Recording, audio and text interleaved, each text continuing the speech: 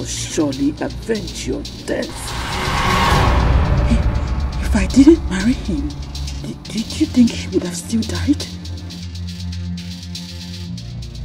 Look at what marriage has done to me.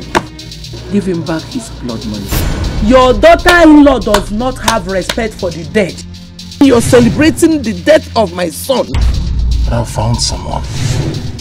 Someone I want to spend my life with. Shut up! Tell to stay away from my daughter-in-law. Is anything wrong with us? Everything is wrong with the person. She's pregnant for another man. Go and ask Amaka who is the father of her son.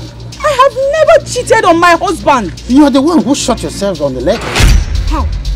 You need someone to be there for you. You need someone to protect you, to provide for you.